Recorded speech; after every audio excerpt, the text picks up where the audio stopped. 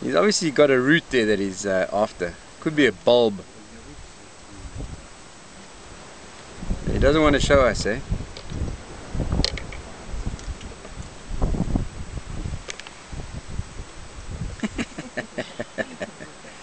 yeah, he's got a bit of attitude.